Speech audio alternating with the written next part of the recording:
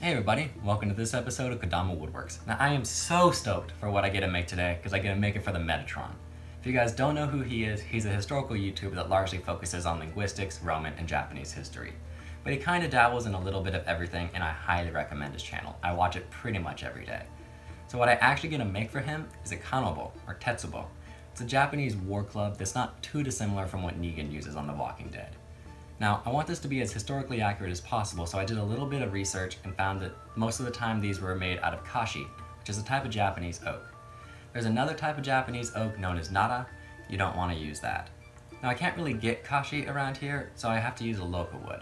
But since, like I said, I want this to be as historically accurate as possible, I'm actually not going to use oak. I'm going to use beech. And let me explain why. So this hand plane that I got in Japan is the only piece of kashi that I actually own. And if you look at the end grain, you can see it's a pretty special species of oak. You have the medullary rays here, but those aren't the actual growth rings of the wood. To see those, you have to look a bit more carefully, and they're here, here, here, here, and so on. Now when you compare that to a piece of American oak, you have the medullary rays and the growth rings, which are made up of early wood and late wood.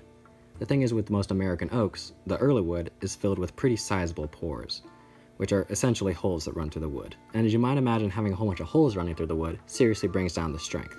Now if you look at this chart of different types of wood's impact resistance, you can see that kashi is here, while oak is here. But the trick is, if you look immediately next to kashi, you have beech. So this is a piece of beech. While the medullary rays aren't quite as prominent as they are on the kashi, as you can see much more importantly, it also isn't filled with giant holes like the oak is.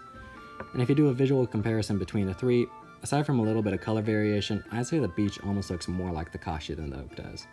So from a, both a functional and a visual standpoint, this is the much more historically accurate choice.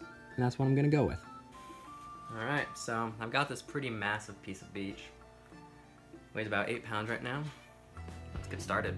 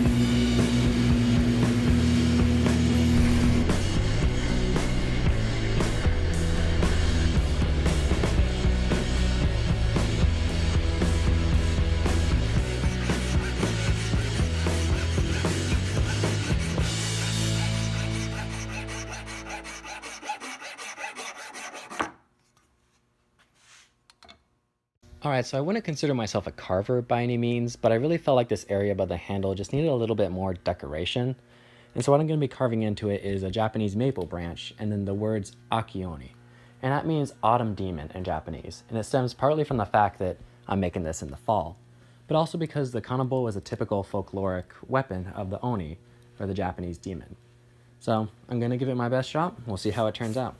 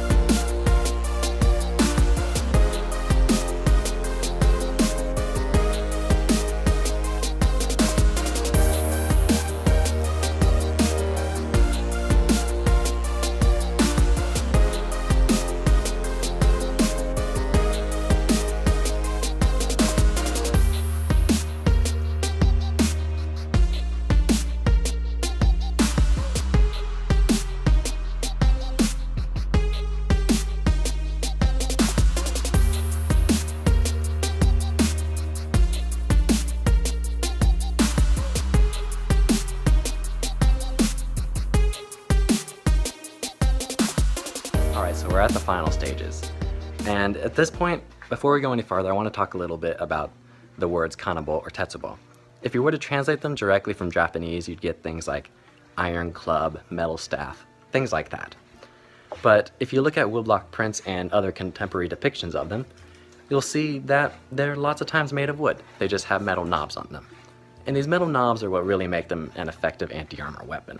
And what would be historically accurate is like big giant metal nails with big rounded heads on them.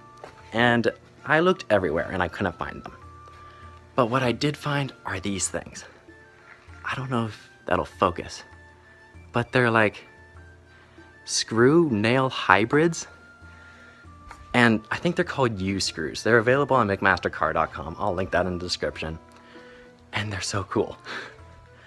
um, there's lots of times when making things that I've needed these. I've needed these for years. And now I finally have them. I know what they are. I know where I can get them. And I'm excited.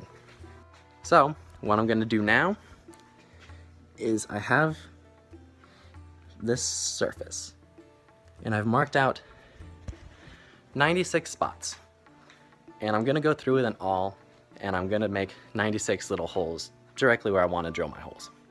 Then I'll go through with a drill, drill out 96 holes. And then finally, I'm gonna take those U-screws, U drive screws, I think is the full name, and I'm gonna put them in. And then it's done, and I send it off to the Metatron. So, I hope you like it. Let's get to it.